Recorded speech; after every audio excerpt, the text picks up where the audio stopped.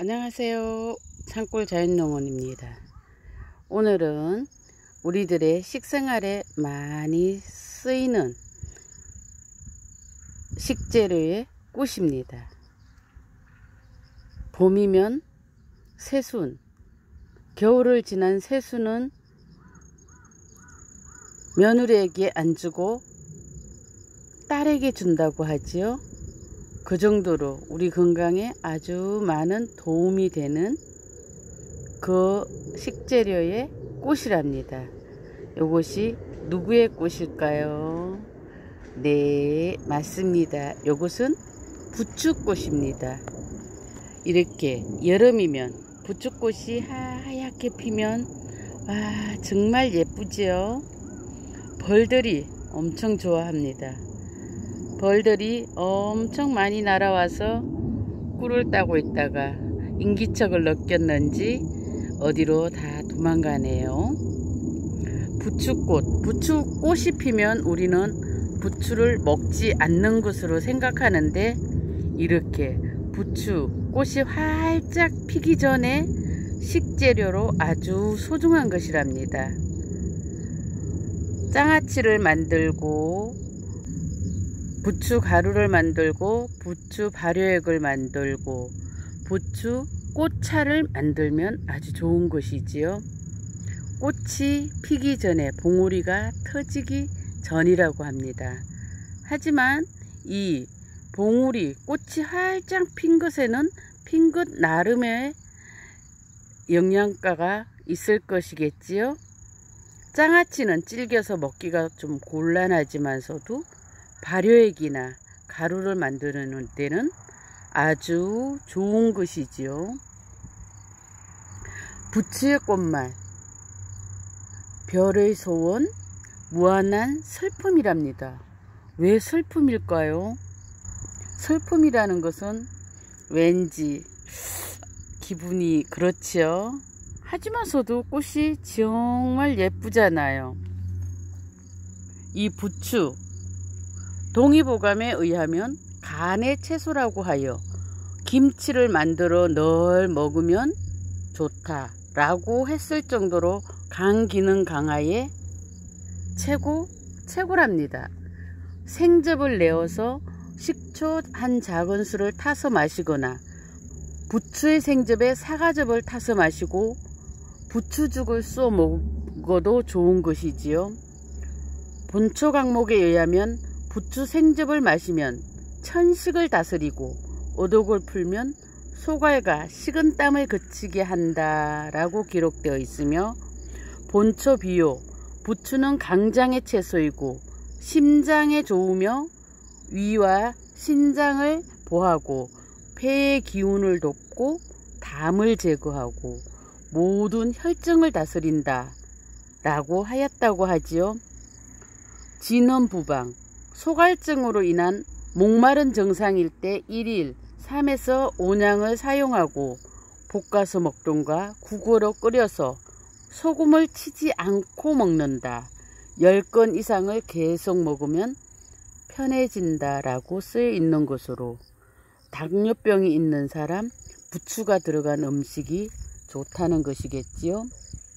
부추 성질은 약간 따뜻하고 맛은 시고 맵고 뜰분 것으로 비타민 A와 C가 풍부한 식품으로 독특한 향과 냄새가 있는 유황화학물의 향미가 있는 식품으로 마늘과 비슷한 강장 효과가 있는 것이지요.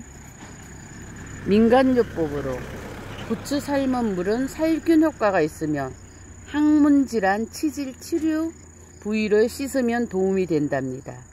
음식을 잘못 먹고 설사를 할 때 부추 꽃대를 채취하여 진하게 달여 마시면 설사를 멈추게 하는데 도움이 되고 구토에 생강즙을 타서 마시고 식중독에는 여러 번 마시면 좋답니다. 천식에도 부추즙을 자주 마시면 효과가 있고 코피가 자주 날 때도 도움이 되는 것이라고 하지요. 부추, 활성산소 해독작용에 도움이 되는 것으로 항산화 작용을 하는 베타카로틴, 노화의 원인이 되는 활성산소 발생을 억제하는 것으로 배가 항상 냉하고 설사를 자주 하는 경우도 도움이 된다죠. 장복하면 정력에 증강하고 허리가 튼튼해지며 숙면을 취할 수 있다고 하지요. 예전 산골 젊은 부부가 살고 있었는데 남편이 항상 얼굴이 누렇고 비실비실하여 걱정을 하였는데 노스님이 이 부추를 담벼락 아래에 많이 심어서 항상 남편에게 해주라고 하였다고 하지요. 그래서 부인은 부지런히 담벼락 밑에 부추를 심고 매일 반찬으로 다양하게 하여 남편에게 주었더니 남편이 아주 건강해져서 아주 오랫동안 행복하게 살았다고 하지요. 그만큼 부추 남성 건강에 도움이 된다는 것입니다. 남성 건강에 도움이 되면 여성 건강에도 도움이 되겠죠. 부추는 우리 건강에 아주 좋은 것이랍니다. 오늘 저녁은 부추 요리를 한번 해볼까요? 이렇게 피지 않은 부추꽃이 있는 요것을 채취해 왔습니다. 오늘은 이 부추 꽃이 들어간 부추전을 한번 만들어 보려고요. 아직 이거 연해서 어, 상주 경상도의 여름 밑반찬 고추장 들어간 장떡 한번 만들어 보겠습니다. 반죽 만들기 여기 밀가루와 메밀가루를 넣고 밀가루 이렇게 만든 것입니다. 여기에 부추, 꽃대와 부추를 넣고요. 양파, 양파 조금 들어갑니다. 그리고 소금 대신에 요 고추장으로 간을 해주는 것이지요. 음, 요렇게 하얀색이지요. 여기에 고추장 여기에 먼저 고춧가루 한 스푼 넣어주고요. 좀 붉은색이 강하게 나타나기 위해서 고춧가루 생략해도 됩니다. 여기에 고추장 한 숟가락 넣고요. 음, 이렇게 반죽을 해주면 되는 겁니다. 이렇게 반죽, 반죽이 마무리되면 전을 굽기만 하면 되는 것이지요. 음, 어때요? 색깔 예쁘지요? 이대로 먹어도 맛있을 듯 하지만서도 생 밀가루이길래 익혀야겠지요. 익혀 보겠습니다.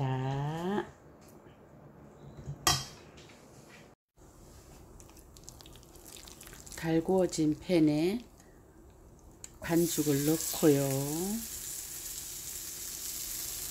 좀 살살 펴줍니다. 어, 좀 많이 빨간 것 같아요. 근데 먹음직스럽기는 한데 어차피 얘는 반찬으로 먹을 것이니까요. 달구어진 팬에 이렇게 반죽을 넣고 살살 펴주고 노릇노릇하게 구워지면 장떡이 되는 것입니다. 어디 한번 요수 요수 요수 음. 해서 아 고추장 때문에 좀 더 탄 것 같이 느껴지는데 타지는 않은 것이랍니다.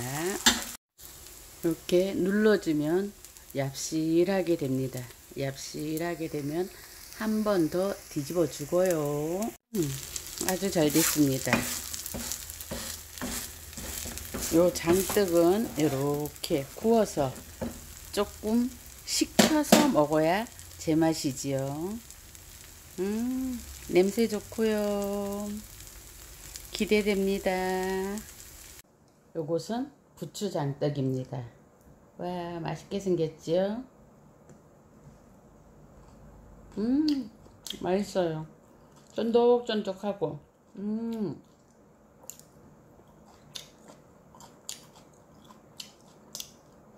그냥 먹어도 맛있고 그리고 밥 반찬으로 먹어도 음 최고죠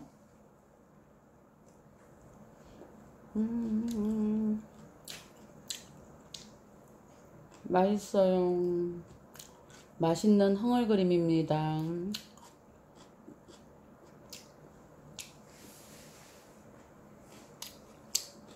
이것은 반죽의 박립입니다.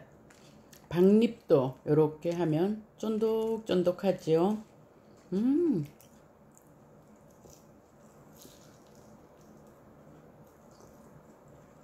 음. 정말 쫄깃쫄깃해요.